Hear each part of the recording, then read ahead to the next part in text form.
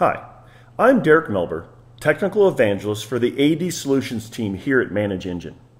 In this video, I want to discuss how we can actually view failed logons. Now, failed logons can really indicate something else that's going on.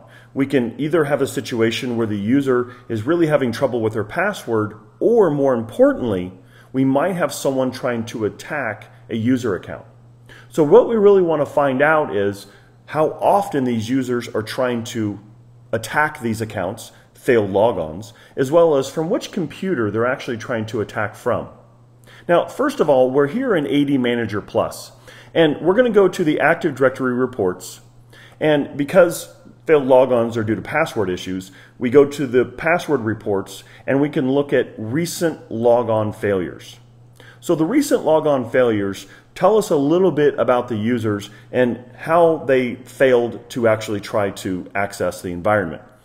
So this one says that there's a bad password that was put in, and it kind of describes a little bit of information. This would give you an idea of basically when the users are putting in failed passwords. But this really doesn't give us the full picture. If we want to have the full picture beyond this, then we need to go to AD Audit Plus. And AD Audit Plus is pretty much all reporting based on the environment of Active Directory. So under our user logon report, we're going to go to logon failures based on users. And here you can see that our auditor 1 has one failed logon.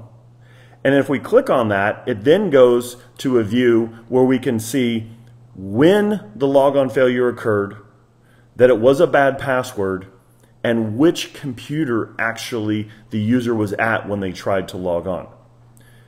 By using these two tools in combination, we're able to get a full picture of possible attempted attacks on our network.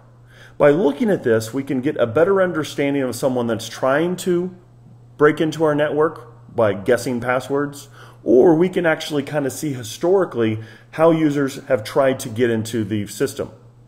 By looking at this information, hopefully we can look at trends and we can look into the future and try to stop these attacks from ever happening. This has been Derek Melber. Thanks for watching.